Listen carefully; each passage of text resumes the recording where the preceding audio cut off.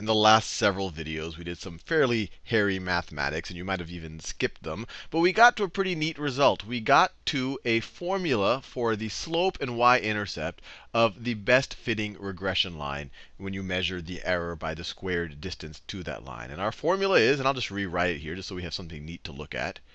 So the slope of that line is going to be the mean of x's times the mean of the y's minus the mean of the xy's and don't worry, this seems really confusing. We're going to actually do an example of this actually in, in a few seconds. Divided by the mean of x squared minus the mean of the x squareds. And if this looks a little different than what you see in your statistics class or your textbook, you might see this swapped around. If you multiply both the numerator and the denominator by negative 1, you could, you could see this written as the mean of the xy's minus the mean of x times the mean of the y's, all of that over the mean of the x squareds minus the mean of the x's squared. These are obviously the same thing. They're just you multiplying the numerator and the denominator by negative 1, which is the same thing as multiplying the whole thing by 1. And then, of course, whatever you get for y, oh, sorry, whatever you get for m, you can then just substitute back in this, back over here to get your b. Your b is going to be equal to the mean of the y's minus your m, whatever m value you got over here. Let me write that in yellow so you get it's very clear. You solved for the m value here, minus m times the mean of the x's. Minus m times the mean of the x's. And this is all you need. So let's actually put that into practice. Let's actually put that into practice. So let's say I have, let's say I have three points, and I'm going to make sure that these points aren't collinear, because that otherwise it wouldn't be interesting. So let me draw three points over here. Let's say that one point is the point 1, 1, comma 2. So this is 1, 2. So we have the point right over here. We have the point 1, comma 2. And then we also have the point. Let's say we also have the point, oh, I don't know. Let's, let's say we also have the point 2, comma 1. Let's say we have the point 2, comma 1.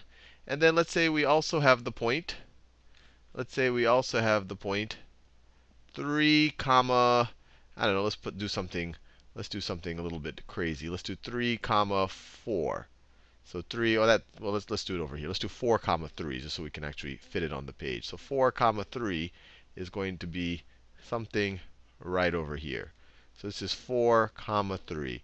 So those are our three points. And what we want to do is find the best fitting, we want to find the best fitting regression line which we suspect is going to look something, we'll see what it looks like, but I suspect it's going to look something like that.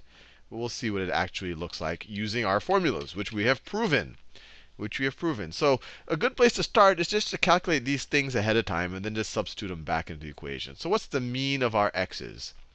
The mean of our x's, the mean of our x's is going to be 1 plus, I'll do the same colors, 1 plus 2, 1 plus 2 plus 4 plus 4 divided by, I'll do this in a neutral color. The mean over x is divided by 3. And what's this going to be?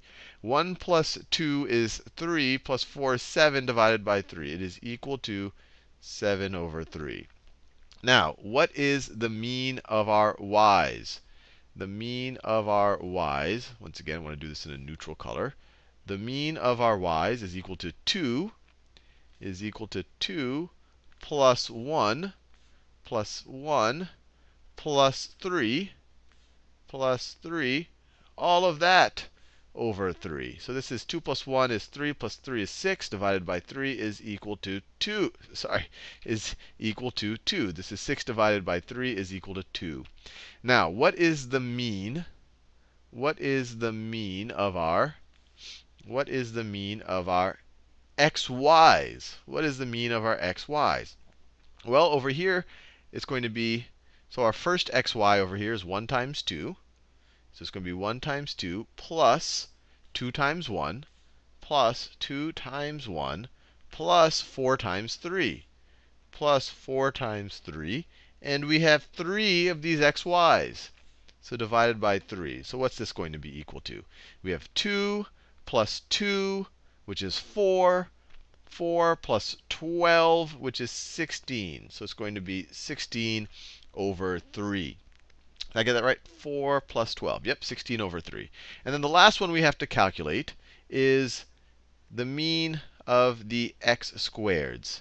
So what's the mean of the x squareds? The first x squared is just going to be 1 squared, this 1 squared right over here, plus this 2 squared, plus 2 squared right over here, plus this 4 squared, plus this 4 squared.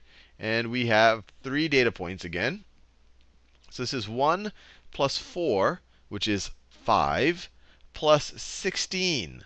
5 plus 16 is equal to 21 over 3, which is equal to 7. So that worked out to a pretty neat number. So let's actually find our m's and our and our b's.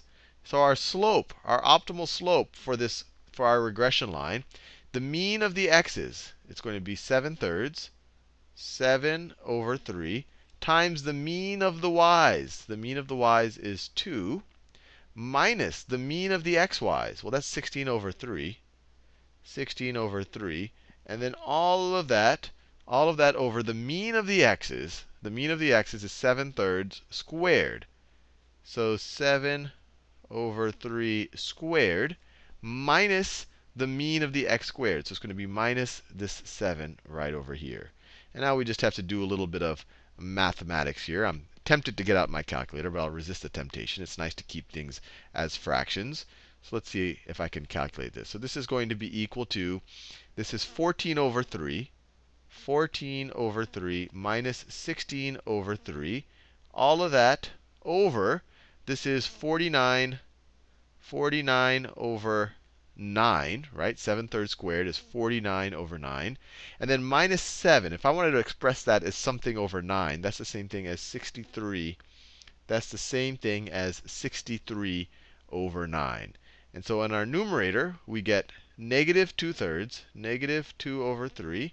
And then in our denominator, what's 49 minus 63? That's negative, let's see, that's negative 14 that's negative 14 over 9. And this is the same thing as negative 2 thirds times 9 over 14, negative 9 over 14. Divide numerator and denominator by 3. Well, the negatives are going to cancel out first of all. We divide by 3, that becomes a 1. That becomes a 3. Divide by 2 becomes a 1. That becomes a 7. So our slope is 3 sevenths. Not too bad. Now we can go back and figure out our y-intercept. So let's figure out our y-intercept using this right over here. So our y-intercept, b, is going to be equal to the mean of the y's. The mean of the y's is 2, minus our slope. We just figured out our slope to be 3 sevenths. So minus 3 sevenths times the mean of the x's, which is 7 thirds, times 7 thirds. Well, these these just are the reciprocal of each other, so they cancel out. That just becomes 1. So our y-intercept is literally just 2 minus 1. So it equals 1. So we have the equation for our line. Our regression line is going to be y is equal to, we figured out m. m is 3 sevenths. y is equal to 3 sevenths x plus our y-intercept is 1 plus 1. And we are done we are done. So let's actually try to graph this. So our y-intercept is going to be 1. It's going to be right over there. And the slope of our line is 3 sevenths. So for every 7 we run, we rise 3. Or another way to think of it, for every 3.5 we run, we rise 1.5. So we're going to go 1.5 right over here.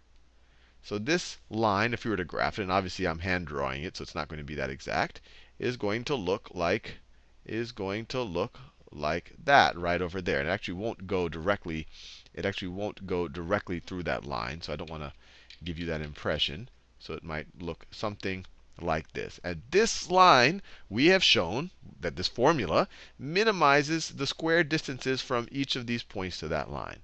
Anyway, that was, at least in my mind, pretty neat.